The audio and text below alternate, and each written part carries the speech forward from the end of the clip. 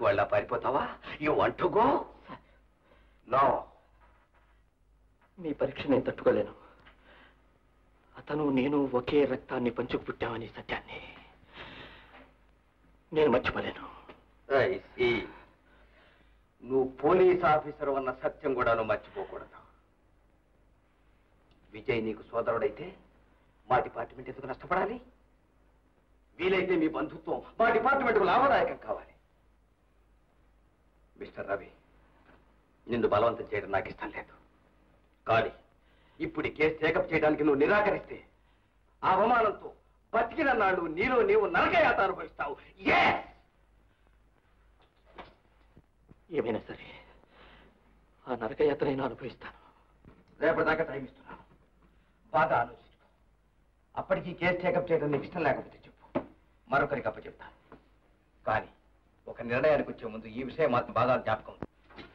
సంఘానికి క్యాన్సర్ వ్యాధిలా వ్యాపించే ఈ నేరాలను పోలీస్ ఆఫీసర్ ఒక డాక్టర్లా నిష్కామంగా నిస్వార్థంగా నిర్మూలించాలి కానీ ఏ డాక్టర్ అయినా తన గుండె మీద తను ఆపరేట్ చేసుకుంటాడా సార్? అయినా మీరింతగా చెప్తున్నారు కనుక ఆలోచించుకుని రేపు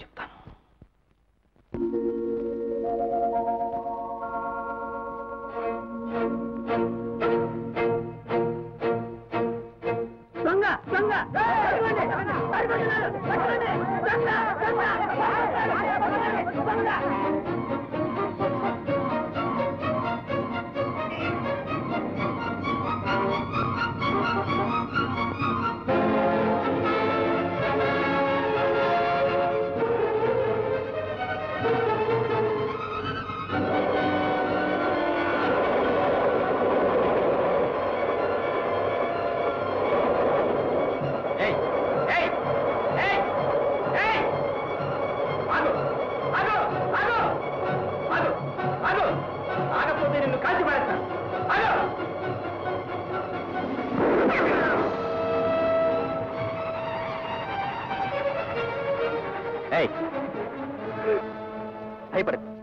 నీ ప్రాణానికేం భయం లేదు.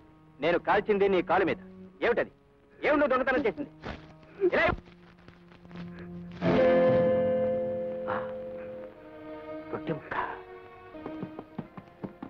అంబులెన్స్ పిలిపించి తన హాస్పిటల్లో జాయిన్ చేయించు. నీ పేరు? చంద్రు. నీలెక్కడ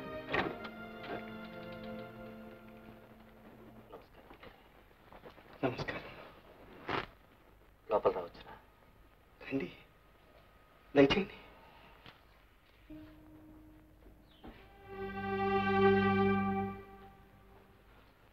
క్షమించాలి. మిమ్మల్ని నేను గుర్తించలేదు. నేను ఇదివరకు మీకు తెలియదులేండి. బహుశా మా చంద్రుకి తెలిసేమో.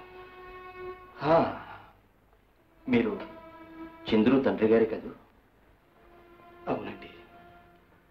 వాడు ఇంట్లో లేడు. నాకు తెలుసు. హాస్పిటల్లో ఉన్నాడు. పోలీసుల స్వాధీనంలో. మీరేమీ అనుకోకపోతే ఇవి తీసుకుంటారా? ఏమిటవి?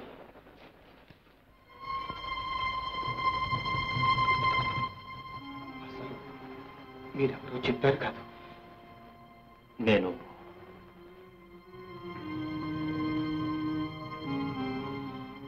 మీ అబ్బాయిని షూట్ చేసి ఇన్స్పెక్టర్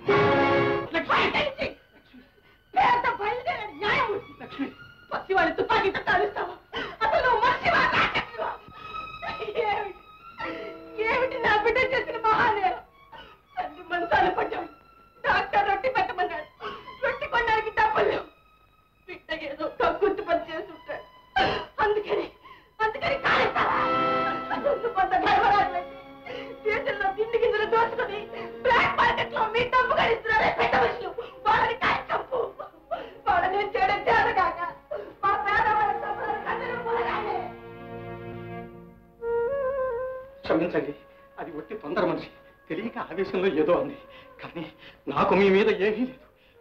మీరు చేసింది రైటే అంటాను. ఎవరు చేసినా ఎందుకు చేసినా? పెద్దదైనా చిన్నదైనా దొంగతనం దొంగతనం.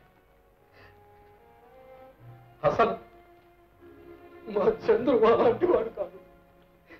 పాపం నా పరిస్థితి చూసి నా కోసం అలా చేసి ఉంటాను అంత మాత్రాన్ని నా కొడుకని వాడు చేసింది రైట్ అని నేను అనలేదు అలా అయితే దేశంలో ఎందరో తిండి లేక మాడుతున్నారు. వాళ్ళంతా దొంగతనాలు చేస్తే ఎలా? అది సౌభా. నేరస్తులను దండించవలసింది. వాడు తండ్రి గాని కొడుకు గాని అన్న గాని తమ్ముడు గాని ఎవరు చేసినా నిర్దాక్షిణ్యంగా దండించవలసింది అది మీ విధి. రక్షించడం నేరాన్ని శిక్షించడం మీ విద్యుత్ ధర్మం.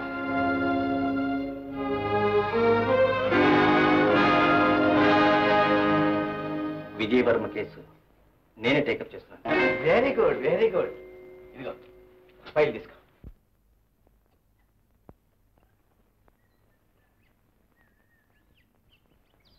సంతోష్ చౌదరి గారికి చెక్కు రాసి ఇచ్చేయి థ్యాంక్ యూ విజయ్ బాబు ఇదిగో బిల్డింగ్ తాలూకు దస్తావేజ్ మీ దగ్గర ఉంచండి.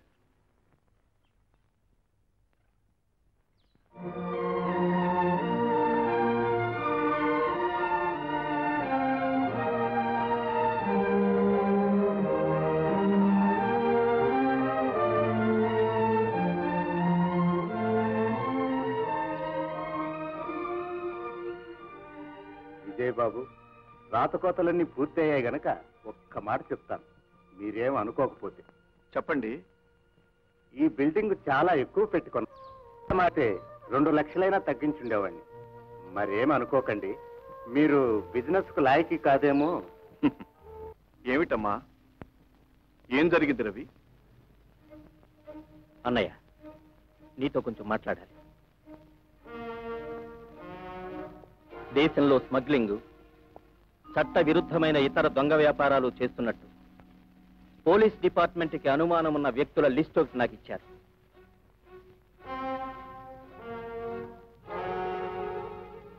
దాంట్లో నీ పేరు కూడా ఉంది. అయితే ఇప్పుడేమంటాం దీని మీద సంతకం చేయి ఏమిటది? నీ స్టేట్మెంట్. ఏమని? నువ్వు చేసిన నేరాలు దొంగ వ్యాపారాలు నీ దగ్గరున్న బ్లాక్ మనీ వివరాలు నీ సాటి సహచరుల పేర్లు అన్నీ ప్రభుత్వానికి తెలియజేయడానికి సిద్ధంగా ఉన్నానని దాని మీద సంతకం కావాలి.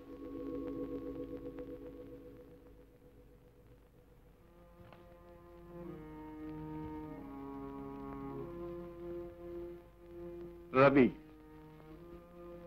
చిన్నప్పుడు కాలే కడుపులతో కటికిరాళ్ళ మీద ఎన్ని రాత్రులు గడిపామో నీ జ్ఞాపకం ఉందా? సంతకం చేస్తావా లేదా?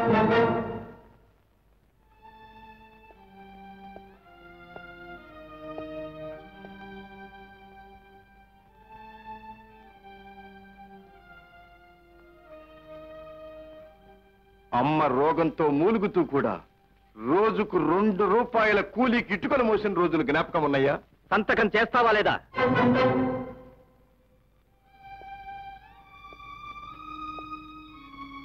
ఈ లోకం మనకు చేసిన అన్యాయాలు అవమానాలు చిత్కారాలు చెదరింపులు జ్ఞాపకం ఉన్నాయా? అన్నయ్య! సంతకం చేస్తావా లేదా? చేస్తాను. కానీ నాకంటే ముందుగా సంతకం చేయవలసిన వాళ్ళు చాలా మంది ఉన్నారు. వాళ్ళ చేత కూడా చేయించు. ఆనాడు నాన్నని బెదిరించి ఒప్పందం మీద బల సంతకం చేయించుకున్నాడే ఆ పెద్ద మనిషి. వాళ్ళ చేత కూడా చేయించు. మోయలేక ఇటుకలు కింద బారేస్తే ఆనాడు అమ్మ నన్నరాని మాటలని పనిలో నుంచి తీసేశాడు ఆ పెద్ద మనిషి. వాళ్ళ కూడా చేయించు. జరగకుండా శాశ్వతంగా బ్రతికినంత కాలం నా గుండెల్లో నిప్పులు తిరిగి పచ్చ పొడిపించాడే ఆ పెద్ద మనిషి. వాడి కూడా చేయించు. వాళ్ళందరి చేత ముందు సంతకాలు చేయించు. ఆ తర్వాత నేను చేస్తాను. ఇతరుల పాపాలను ఏకరువు పెట్టినంత మాత్రాన నీ పాపం పుణ్యంగా మారదు. ఇతరులను దోషులుగా నిరూపించినంత మాత్రాన నువ్వు నిర్దోషివి కాలేవు అవినీతి నీ వ్యాపారం. నీతి నా ఆదర్శం మనిద్దరి మధ్య అగాధం ఉన్నంత వరకు నువ్వు నేను కలిసి ఒకే ఇంట్లో ఉండడం అసంభవం. నేను ఇంట్లోంచి వెళ్ళిపోతున్నాను. ఇప్పుడే ఈ క్షణం వెళ్ళిపోతున్నాను. రామ్మా పోదాం. అమ్మ రాదు.